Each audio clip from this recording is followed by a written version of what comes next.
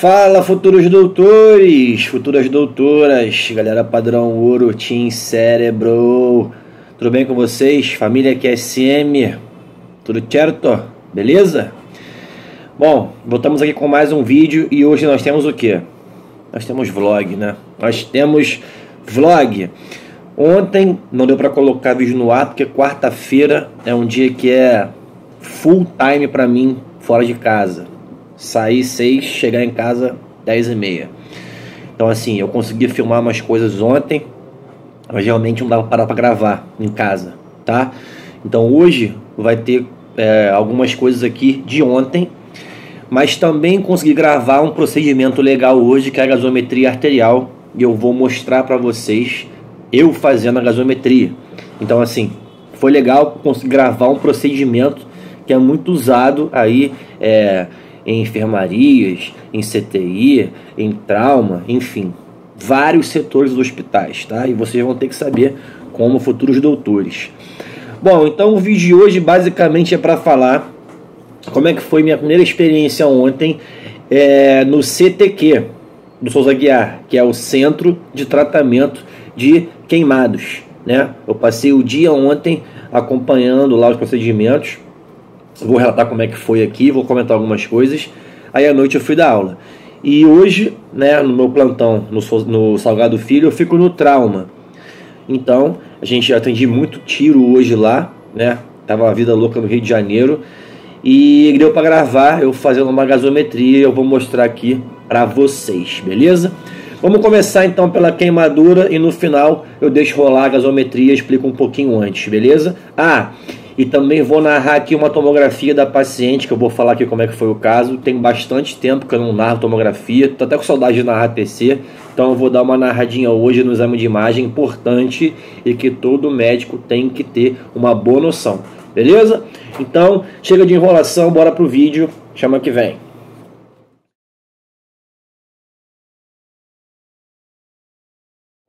Vamos começar aqui o seguinte, olha só. É, vou mostrar para vocês, vou jogar aqui na imagem, justamente o relato né, da abordagem inicial da cirurgia geral com a paciente que eu acompanhei ontem lá no CTQ, repetindo que é o Centro de Tratamento dos Queimados no Souza Guiar.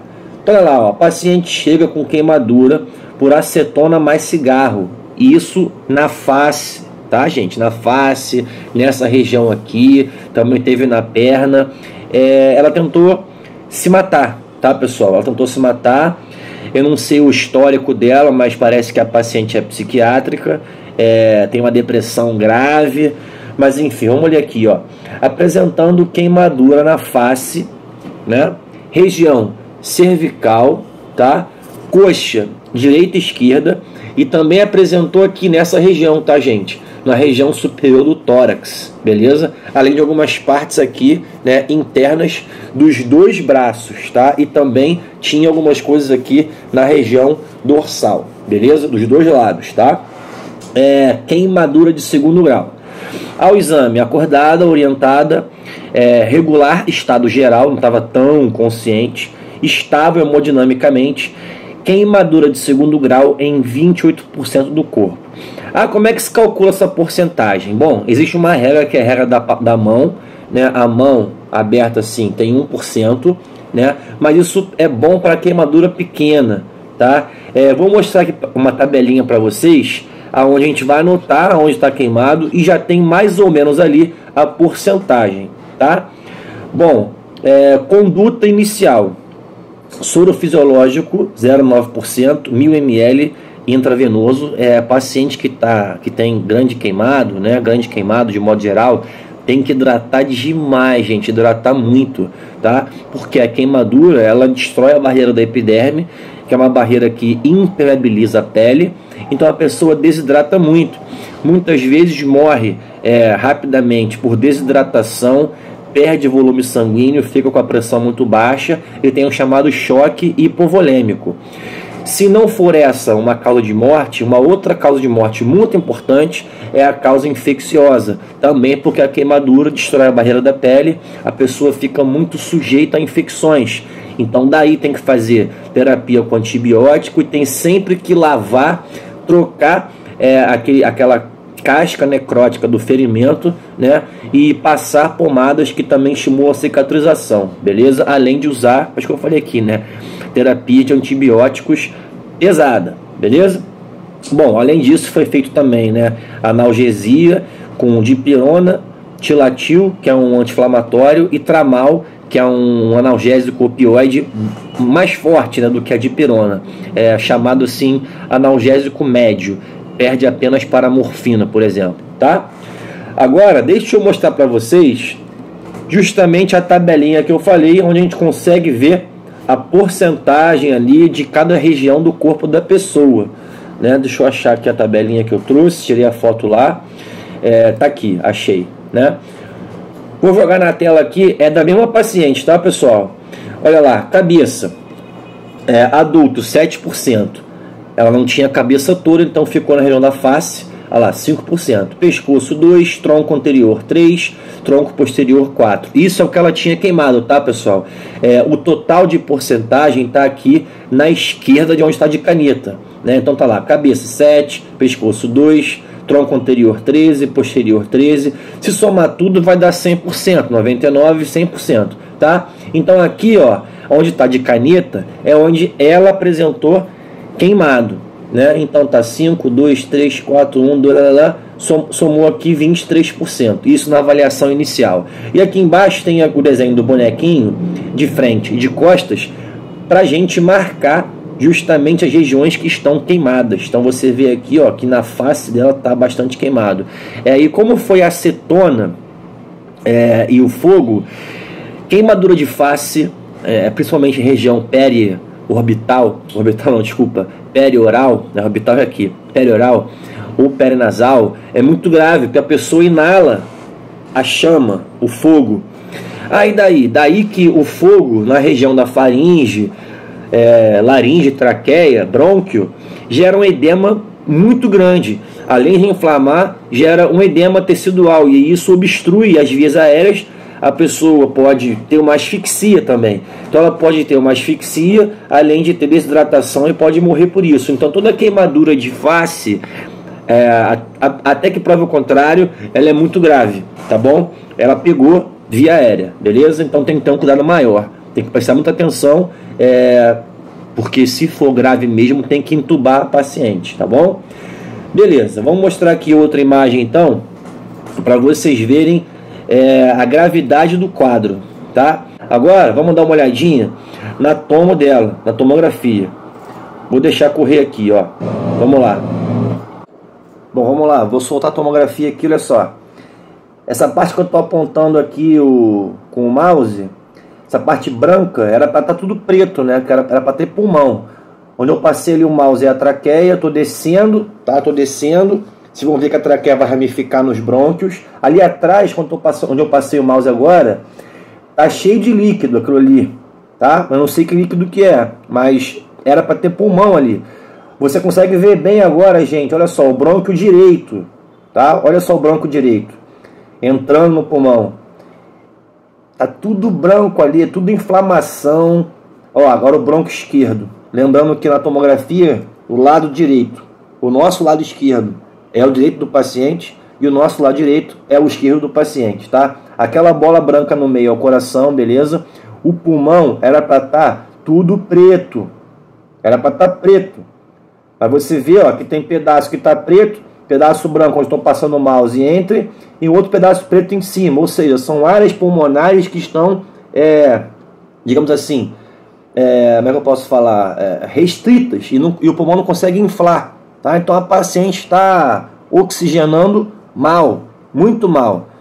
Bom, por isso a grande preocupação com ela, tá? Em mantê-la ventilando bem, em fazer aquela, aqueles fármacos que vão é, expandir a traqueia e, os, e o brônquio, os brônquios dela, né? E monitorizar. Aí, ontem eu entrei com a cirurgia plástica, né? E mais um, um amigo meu, Rafael, que vocês conhecem aqui dos vlogs, e a gente fez a, a, a lavagem né, da, da, da, da queimadura dela, dessa paciente. A gente renovou tudo da paciente. Aí você pergunta, pô Bruno, como é que você faz? Cara, a gente raspa como se fosse com uma, uma, uma pazinha, né? Claro, é, é no centro cirúrgico, porque a paciente está grave, né, com várias áreas de queimadura, e ela sofre anestesia geral, tá?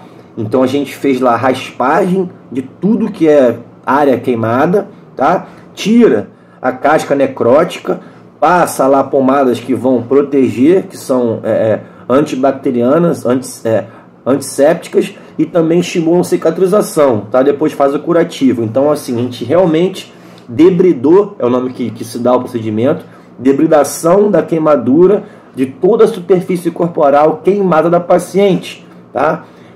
E a paciente sob anestesia geral com analgesia pesada, porque você raspa, debrida o tecido necrótico da queimadura até sair sangue, né? Então você faz assim, dá nervoso, né? Você faz lá, raspa e sai bastante sangue, tem que hidratar muito a paciente para não acabar perdendo muito volume e se manter ali estável. Depois a gente faz um curativo que a paciente ficou totalmente envolta em faixas, né? Em curativos com gás, com atadura, porque ela tinha uma superfície queimada muito grande mas isso é necessário, tá? Porque aquela casca necrótica, se você não renovar, o tecido não cicatriza bem e também pode estimular quadros de infecção, beleza?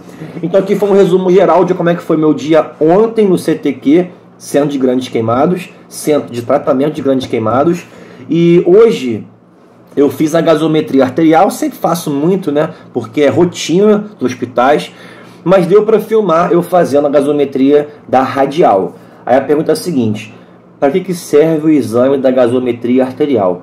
Como o nome diz, gasometria.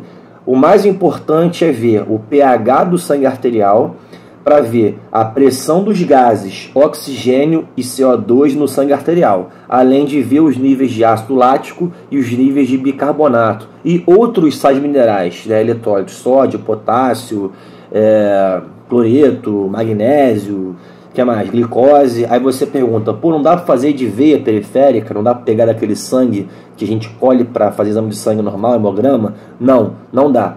Porque quando você colhe daqui de veia, é, é um sangue venoso. Né? É um sangue que não tem tanta quantidade de oxigênio e tem muito CO2. Para a gente saber se o paciente está com pouco nível de oxigênio sanguíneo e está retendo o CO2, tem que ser de sangue arterial. E a artéria, pessoal, não é superficial, a artéria é profunda. Então, quais são os, os sítios que mais se usam para colher sangue de artéria? Tá? A gente pode pegar da radial, que é essa artériazinha aqui, ó, se você colocar a mão no teu pulso, tá? Você vai sentir nessa região pulsar. Se você não sentir, você está morto, beleza? Então tem que sentir, tá? Aliás, se não sentir esse daqui é que você vai estar morto. Talvez aqui às vezes você não sinta, tá bom? Em algumas situações. Mas aqui é um lugar que você pode colher a gasometria arterial na radial. Pode colher na carótida, que é essa artéria aqui, tá? Mas aí é último caso, porque é uma região delicada. E pode colher na femoral, que é ali na virilha. Então, geralmente, onde se colhe é na femoral, quando o paciente está com a pressão muito baixa, é, você palpa que não consegue sentir o pulso, aí você vai na femoral. Vou filmar um dia eu fazendo na femoral, tá? Mas hoje, como esse paciente que eu colhi estava com a pressão até bem alta, ele estava com 170% por 100, né? Estava em uso de norepinefrina, então estava com a pressão bem alta. Aí foi molezinha colher aqui. Então a gasometria é um exame que a gente coleta sangue arterial, bem vermelhão, para ver os níveis de oxigênio, se estão ok ou se não estão, o paciente está oxigenando mal. Os níveis de CO2 para saber se o paciente está retendo o CO2 ou se está eliminando bem o pH sanguíneo, cujo valor normal é de 7,35 a 7,45, para ver se está com alcalose ou acidose, tá? E também os níveis de ácido lático, porque se o paciente tem ácido lático alto no sangue arterial, é, ele está oxigenando mal os tecidos, beleza? É, além de ver também bicarbonato, glicose e outros sais minerais, tá? Mas o principal é pH, O2, CO2, ácido lático. Certo? Certo? Beleza? Show. Então hoje a gente teve, teve aulinha aqui de farmacologia, teve aulinha aqui de fisiologia, bioquímica, uma coisa aqui geral, né? Mas é isso, espero que tenham gostado. Se gostou, curte o vídeo aí, inscreve no canal. É, último recado, chora agora, reaprovado. Se na gota não se envolve, chama que vem. Um beijo do fundo do ventrículo esquerdo. nos, viemos nos plantões por aí. Fique agora com o procedimento que eu estou fazendo na gasometria arterial. Eu mesmo narrei no vídeo, tá? Então vai ser tranquilo de você entender, beleza? Rafael filmou. Show de bola? Bom, tem gente falando que eu tô com cara de cansado. É, agradeço a preocupação. Acho que quem falou foi a Priscila falou. Acho que a Geuciano também falou. Enfim, é, quem reparou isso é, e comentou, se preocupou. Obrigado pela preocupação, gente. Realmente eu estou cansado fisicamente, mentalmente, a trabalho, a faculdade, é, responsabilidades, é, ansioso para terminar logo essa faculdade. Então, assim, estudando para residência, né, com aquelas apostilas que eu ganhei, realmente eu estou cansado mesmo, né? Mas é aquilo que eu falo para vocês: se não aguenta, não se envolve. Eu penso nisso também. Chama que vem. Então, é, ainda tem que malhar, né? Tô indo malhar agora, cansado, mas a gente tira energia do nada. E para animar, né? De vez em quando eu mando uma boa trilha sonora para relaxar e, e malhar com energia. Então, segue ela aqui para a gente terminar. Fica aí com o vídeo da gasometria, beleza? Tchau.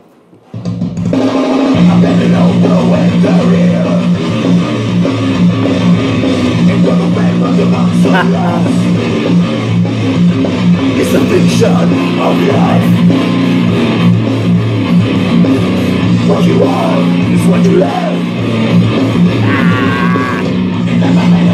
fazer aqui a gasometria arterial no paciente, aqui na radial. A gente tem que fazer aqui uma, uma asepsia básica, com álcool e a gase. A gente vai palpar aqui a radial dele e entrar aqui para colher o sangue. Bom, a gente vai fazer aqui agora, é, fizemos a asepsia aqui local, agora é só achar a radial do paciente e entrar aqui com a seringa. Aqui dentro tem heparina é, para evitar coagulação. E é isso. Bom, como é que é a técnica? A gente palpa aqui o pulso e entra com a agulha mais ou menos 45 graus por baixo do nosso dedo para achar a artéria. E já vamos puxando, já vem puxando o sangue.